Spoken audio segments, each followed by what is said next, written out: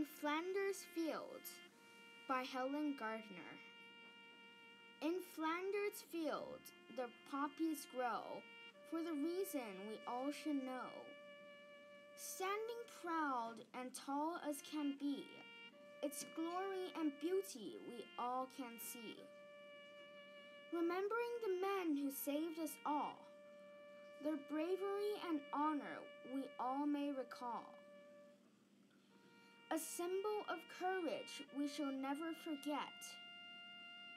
For the men who died in the war they met.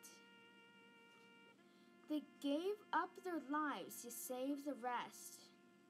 Although they died, they did their best.